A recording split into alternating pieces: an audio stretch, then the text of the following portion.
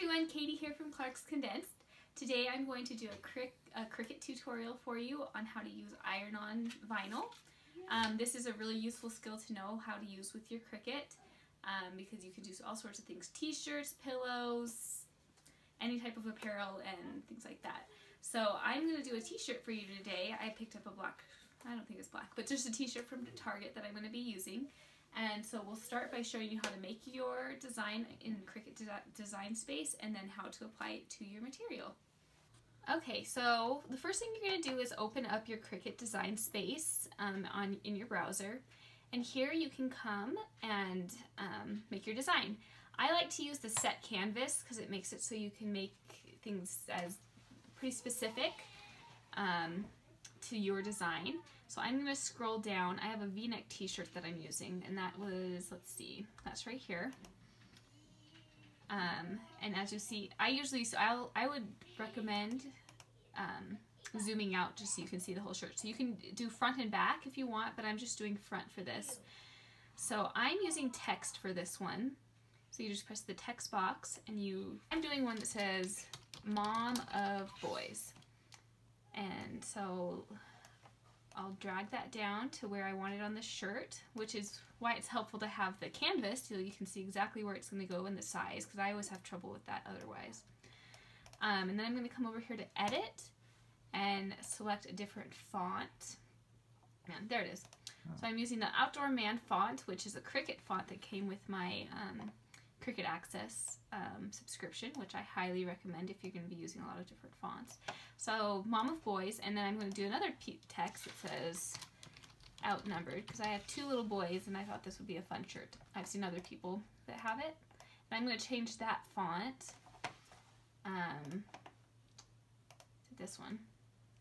I'm going to make that a little bit bigger. Um, and once you have your design, you can put pictures, whatever you want on here. But once I have my design, um, I'm going to have this being the same kind of um, vinyl. I'm using the silver uh, iron-on vinyl.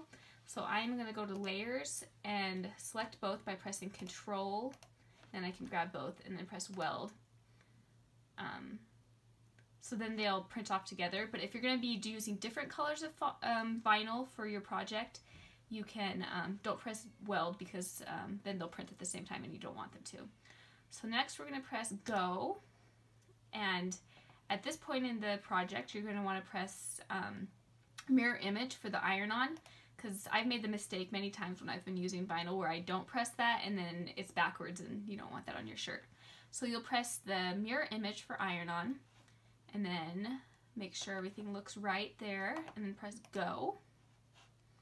So at this point, um, you're going to want to set your dial or edit the custom materials. Fortunately for iron-on, they have on the machine a button for iron-on. So we'll just go ahead and turn it to that um, which makes it nice and easy, but I still recommend doing the test cut just in case.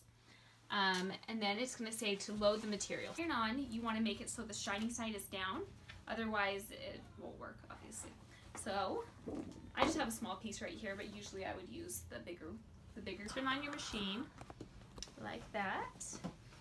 And then all your materials on there, all just like how you want it. And oops.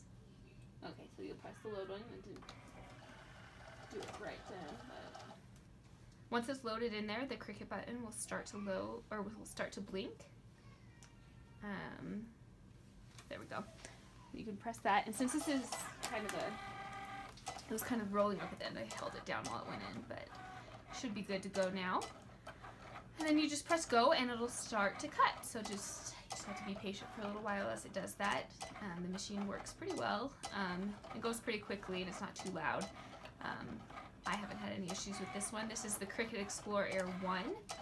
Um, and I really like it. It works great with so many different projects and especially with this iron-on. Now that it's done cutting, you'll press the, um, the load unload button and it'll pop it out there for you. And now, okay, so now you'll um, pull off all the excess material like this. You can use your weeding tool if you want, but I find that usually you, can, you have, I have pretty good luck with just pulling it up. Um, as you'll see, I have, you know, some of these letters. I'll have to go back and weed out those center parts, but I don't know. Some people might not like doing it this way, but I find it goes faster than individually weeding each piece. So something you can do that I obviously didn't do is that you can just go through and get those smaller pieces first. With the smaller text like this, it's probably a good idea to weed it as well. Just because you, as you saw, it kind of took me a little bit more effort to get some of those pieces. Uh, now the weeding's done, with, and now it's ready to go onto the material, and it's backwards, just like it should be, because when you put it onto your um, your shirt or your pillow or whatever, it should show up um, the right way. Okay, now we're ready to apply the, the vinyl to this t-shirt. Um, first, you're going to want to preheat the shirt, which means just lightly going over it. Um, you'll set the iron to cotton slash linen, so one of the hotter settings. So you'll do this for about 10 to 15 seconds to preheat the material. And this is important to do all these steps, even though they might seem kind of annoying, but... So now you'll apply the material with the, with the uh, part that you want on it facing down, obviously. So you'll put it on like this. About 20 seconds, just back and forth.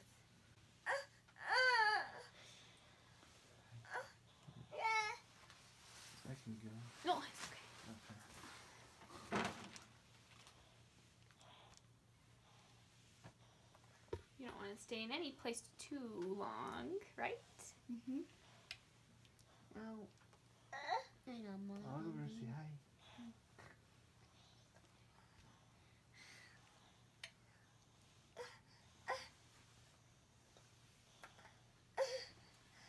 Okay, and now you'll have about a 10 to 15 second cool down period, which you need to do. So just let it set for about 10 to 15 seconds. 10, 9, Nine, eight, eight, seven, six, five, four, three, two, one. Now you can see it. It's all done. Perfect. Woo! Yay! Yay. And that's how you use iron-on uh, material with the Cricut Explorer. I hope this was helpful and let me know if you have any questions.